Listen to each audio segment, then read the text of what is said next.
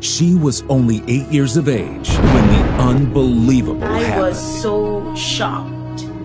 I wasn't expecting him to show up and to show up in the way he did. I remember at one point I actually wanted my grandmother to come and see him for herself.